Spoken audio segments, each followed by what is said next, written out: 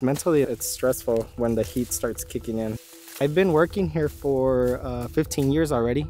15 years and it's uh, it's pretty hard during the summertime. This farming region in California grows about two-thirds of the nation's winter vegetables and is known to be extremely hot in the summer.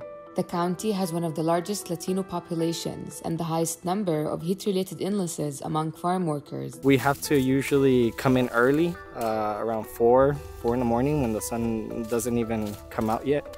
And then we usually end up finishing our, our day's job around 9 because after 9 it gets really, really hot. Researchers from San Diego State University are working to understand the health consequences of chemical exposure and heat stress on farm workers and where heat is most extreme in this rural landscape. We try to assess everything that happens because in many cases after they, they've been working so hard and they cannot cool off with these really high temperatures in this region, we're talking about 115, sometimes 120 Fahrenheit. Environmental monitors measure the day's temperature, humidity, wind speed, sun angle, and cloud cover. Together with satellite imagery, researchers are analyzing and mapping where heat is more extreme. We're trying to understand what are the specific sections that we can intervene at some point to reduce their exposure to heat.